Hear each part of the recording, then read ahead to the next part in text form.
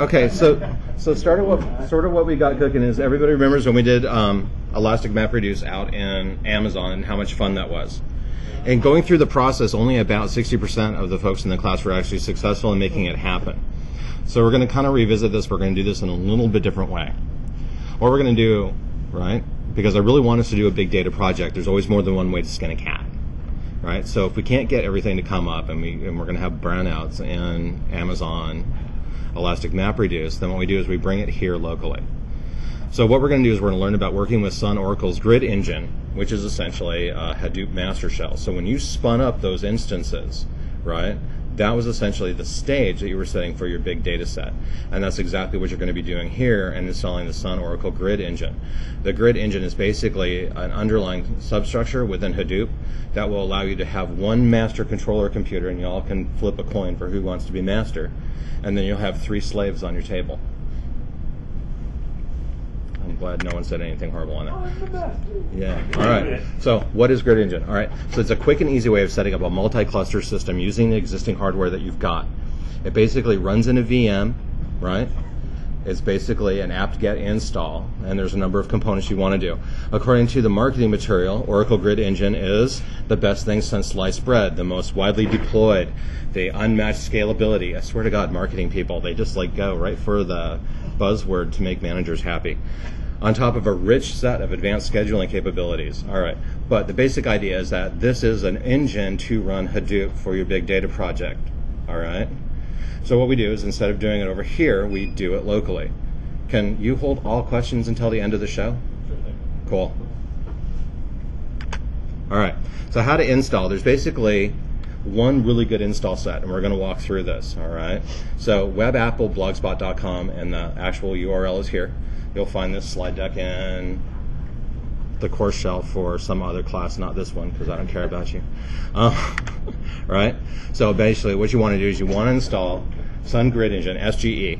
Right? So when you hear me say SGE, I'm talking about Sun Grid Engine. Of course, we know Sun got bought by Oracle, right? But it's still the Sun Oracle Grid Engine. So basically, what you want to do is just do a sudo apt get install, and you have a number of different chunks to this. You have the Grid Engine client, Grid Engine common, which is all the common packages that you'll need the grid engine, grid engine queue monitor, and then the executive. If it's not a master node, right, then remove the grid engine. engine exec for all your slaves. If during the installation you'll need to set the cluster cell name such as default or pod 1, pod 2, polywog, uh, what other weird names have you guys come up with for stuff? Um, some of them I can't say because I'm recording this. So I try to stay away from near pornographic ways of describing your grid engine here with masters and slaves, okay? Just do me the favor. All right. When you install this on other nodes, it's going to be sudo apt-get install grid engine client, grid engine exec. And again, the same that cell name is what ties you together, right? So if you name your cell Dan, then your master's name is Dan, and all your slaves are named Dan, which can be really confusing in certain circumstances. You want to set the SGE root and cell environment variables, and you're going to find this in the configuration file underneath etc SGE. Right? So you set your root variables to the installation path of SGE, whether it's user bin, user sbin, wherever you installed it, or wherever the apt-get install installed it. The SGE cell is the name of which is the default, or Dan, or Bob, or Jane, or Mikey, or whatever. Right? you can go into and etc, the etc profile and etc bash, add the following two lines. Export these variables like you did in 215.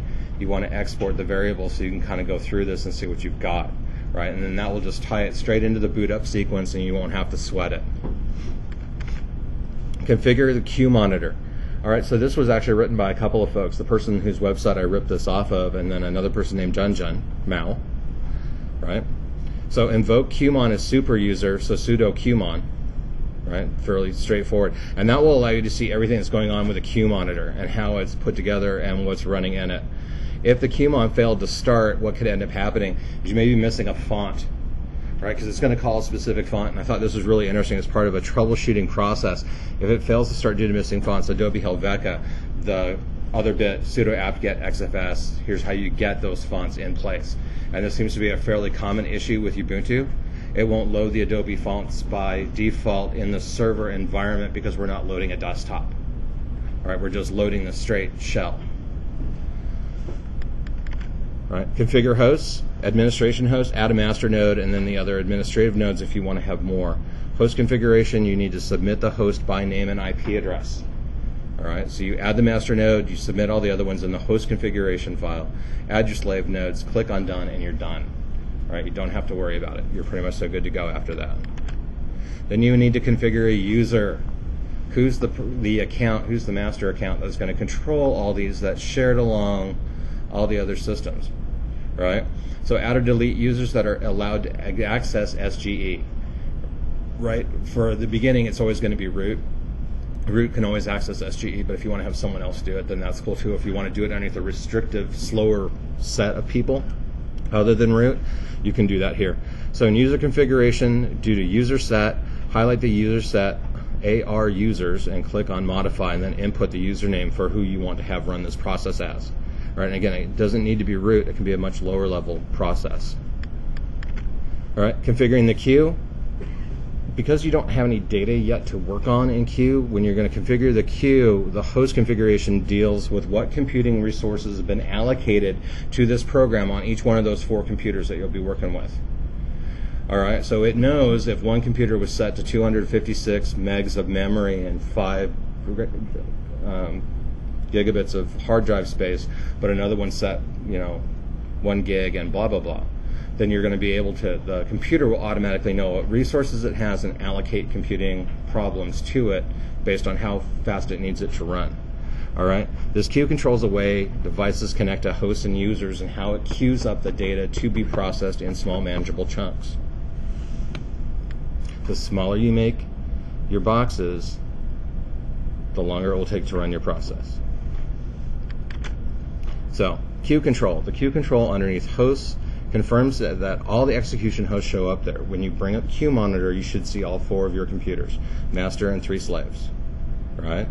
Cluster queues, if you have cluster one and cluster two and then cluster three, cluster four, cluster five, cluster six, you could literally turn this whole room into one great big huge honking computer, which is really cool if you want to run SETI at home and find space aliens. No? Is that what we're doing? You know, we could, but it's not. How many people really want to hunt space aliens by doing it this way?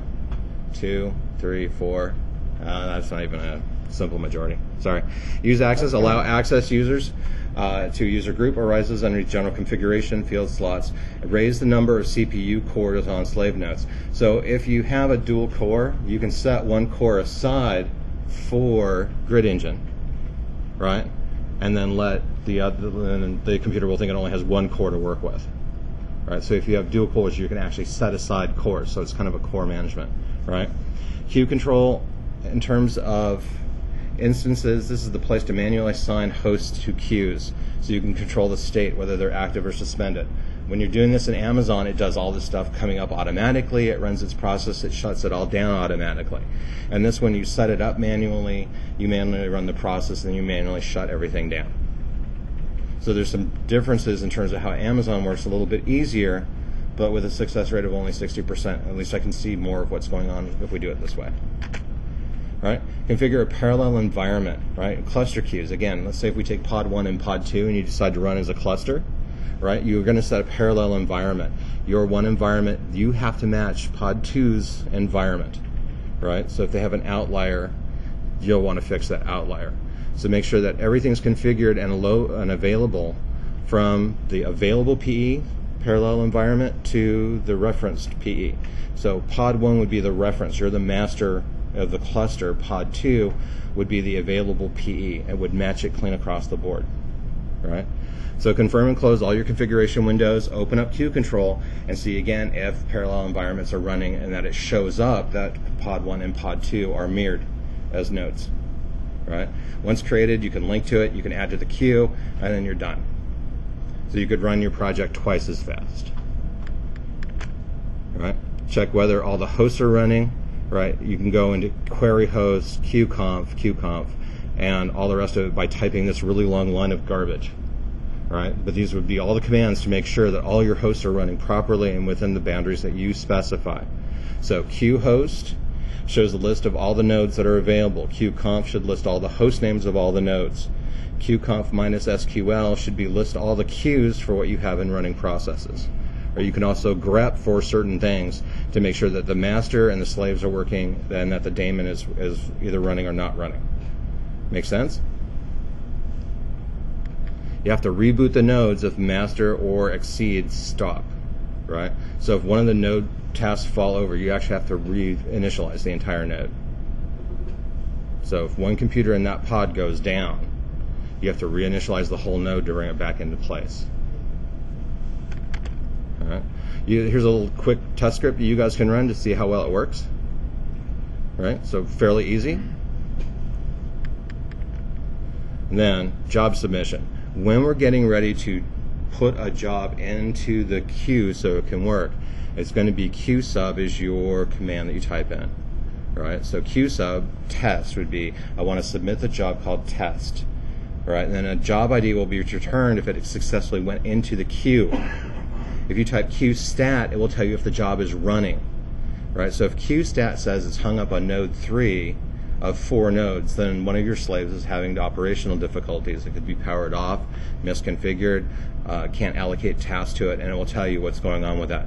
You can also set it to debug, right? So that you can see how all your nodes interact with each other, why it's doing the job. So really kind of neat. So qsub is how you submit your, your queue, and then qstat is how you see if it's running in the process. All these are going to be run at the master, not at the slave level. Always check your logs. I just love that, that phrase. Again, remember, when you guys get your uh, teacher evaluations, I definitely want to see the complaint as a weakness. Always makes me look at my logs. I just want to see that because it will make my whole day, right? var spool, grid engine, queue master messages, right? So that will give you all the messages for the master node, and then var spool, grid engine, execd will give you it for the slave nodes. So there's kind of a difference in terms of how it will take a look at it. Master node's going to have a master index of all the logs, but sometimes the slaves will catch something that it needed to catch along the way. Possible errors. All right. My output file has a warning, no access to TTY. Why, if I can't access my main screen, if I can't access my terminal, that's a problem. All right, this warning is caused if you're running in the T shell or the C shell. Right, so when, since we're going to be working in Bash, make sure you're working in the bin sh shell or the bin bash shell. Question. All right, master host failed to respond properly. Error message, commlib error, access denied, blah, blah, blah, blah, blah. This can help you put through by making an alias file in your host aliases, setting up your master and your slave relationship in terms of who does what, where, why, and how. Right? So this is kind of a cool way of solving that problem. And I've actually seen this problem a lot, and it's because DNS is being kind of faulty because everyone loves DNS, and DNS is never faulty. right? Sometimes you have to kind of force it and tell it where to go. All right, and then some good sources, right? So we have the Ubuntu man page for setting up and installing SGE. We have the place that I just ripped this entire freaking PowerPoint from. Thank you. Then we also have another one from uh, City University, New York, which is a little bit older. And then there's another one in dealing with an MPICH2 cluster, which is similar to the Oracle, the Sun Oracle Grid Engine. So it kind of makes sense, right? You guys sure it makes sense? Are you happy? Is this awesome? Are you excited? Is this the best thing that you could do today? No. Are you surprised I'm swinging this on you on a Friday? Yeah. Yeah. Do we actually have to do something? Yes, you do. So first first. Okay, so you had a question, Mr. Carl. Uh, no, it's not important. It's not important now, but it was important 15 minutes ago. Yes, it was a timing thing. It was a timing thing. Okay? Anybody else have any other questions? Anybody else want to lay their head on their desk and go nighty night? God, guys, it's Friday. It's like the most annoying day of the week because that means I'm going to not see you guys for two whole honking days. Oh, how sad. I'm missing your logic. Do you want All us to come over and do donuts in the front You know, parking lot? it would be funny. Condo. That'd be Drive funny. around in circles. Like a whole bat fly around the parking circle. That would be awesome. Alrighty. I can sit there and rep my